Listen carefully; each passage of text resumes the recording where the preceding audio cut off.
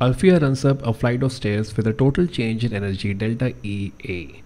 Karuna exerts double the amount of energy in half the time. The question is to figure out how does Alfia's power output PA compare with Karuna's power output PK. Okay, as always, try this one first.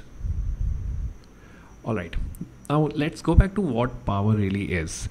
Power is the rate of energy transferred right? So when we say rate of energy transferred we can express that as delta E divided by delta T.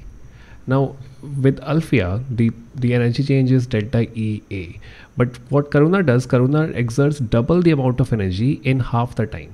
So if this is delta EA then Karuna is, Karuna is exerting two times of this two times of this in half the time. So this is delta T by 2 this really becomes 4 delta E A divided by delta T.